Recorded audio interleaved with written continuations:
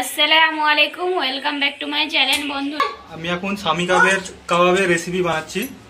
এখন তার জন্য নিয়েছি বোনলেস চিকেন আর ছোলার ডাল, কাঁচা লঙ্কা। ছোলার ডালটা সিদ্ধ করে নিয়েছি, ভিজিয়ে নিয়েছি।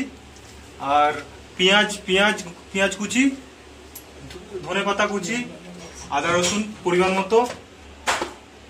আছে আমাদের লঙ্কা গুঁড়ো, ধনে গুঁড়ো জিরে গুঁড়ো, আছে কাশ্মীরি লঙ্কা কাশ্মীরি লঙ্কা, নুন, সাদা তেল আর হলুদ গুঁড়ো। সঙ্গে নিয়ে আমরা বয়েল করে নেব।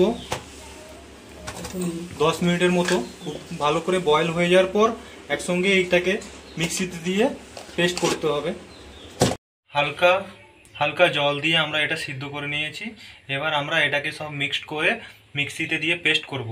পেস্ট বানিয়ে আমরা আবার এটাকে ম্যারিনেট করব, এখন পেস্ট করছি।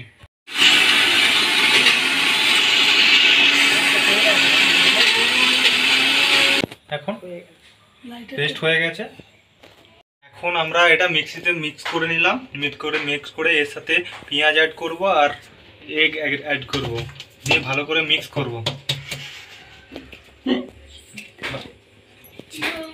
ডিম আর পেঁয়াজ দিয়ে ভালো করে মিক্স করব। ভালো করে মিক্স করে নেওয়ার পর ডাইরেক্ট তেলে দিয়ে অল্প তেল দিয়ে ফ্রাই করব। আমরা সাদা তেলটা একটু গরম করে নিয়েছি। গরম করে নিয়ে এবার এখন গোল গোল করে নিচ্ছি হাতে। নিয়ে আমরা একটা ফ্রাই করব। ভালো করে ডিপ ফ্রাই করব।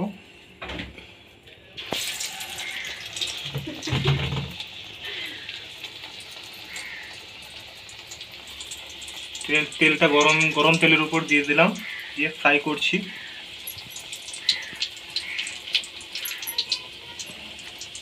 ভালো করে ফ্রাই করতে হবে, নাহলে ভিতরে কাঁচা রয়ে যাবে।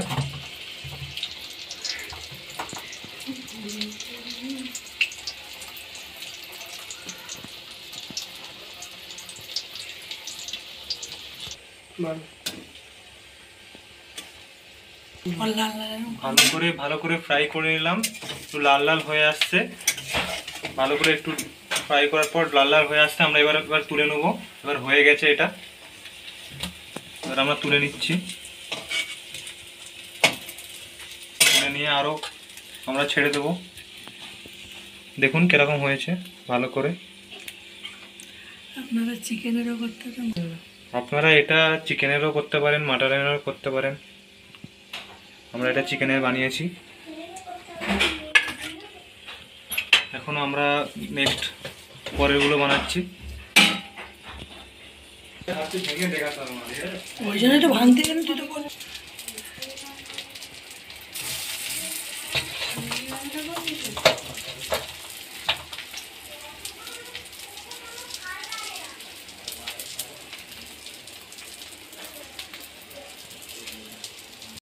আমরা ভেজে, ভালো করে ভেজে রেডি করে নিয়েছি, এবার সার্ভ করে নিয়েছি। দেখুন খুবই ভালো হয়েছে। ভিতরে দেখুন সব মোটামুটি সিদ্ধ ভালো হয়ে গেছে।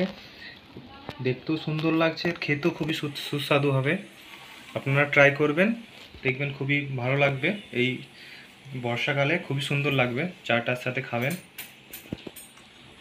আর আমাদের ভিডিওটা যদি পছন্দ হয়ে থাকে লাইক করবেন শেয়ার করবেন। আর চ্যানেলটা সাবস্ক্রাইব করে নেবেন আর নতুন নতুন ভিডিও দেখার জন্য বেল আইকনটা ক্লিক অলে করে নেবেন। Thank you for watching